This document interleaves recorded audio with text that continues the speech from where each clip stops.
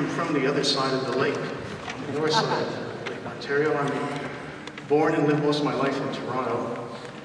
And uh,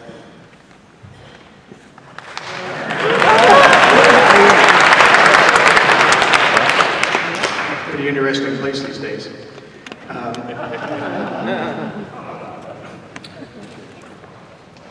there's a lot of there's a lot of terrific musicians in Toronto, and there's a lot of I think that more than our fair share, we've got some fantastic jazz musicians.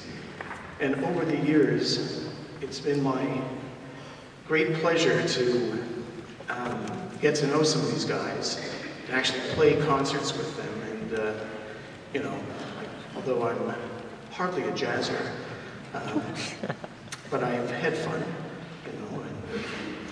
And, and uh, you know, had, you know, standing in, well, Don Thompson is like, he's the, he's the, he's the guy, he's the dean of Canadian jazzmen, I think. He plays so many instruments. Do you have a bio in any program or something about Don Thompson?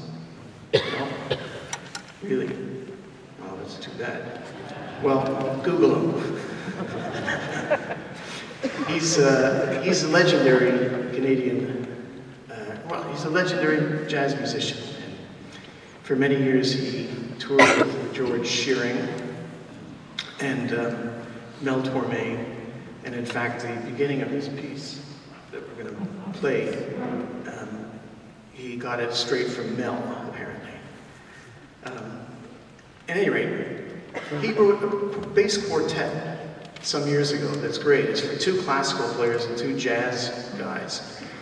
And uh, we were preparing a performance of that, and there was a break between the rehearsal and the show, and I was having a nap underneath a grand piano, I think in a bass case. And Don didn't know I was there, but he came over to the piano and he started playing a ballad. Um, and, you know, I was sort of half, half asleep, half awake. And it was just like a beautiful dream. It was one of my best musical experiences hearing him play this beautiful chord changes. I don't know what it was, but I pledged that I would someday get him to write me something like that. And that's what I did. Um, and and what I'm really, really happy about is that I told him I was going to come here and play it, and he said, oh, well, I should come along and play it with you. I said, okay, so please welcome Don Thompson.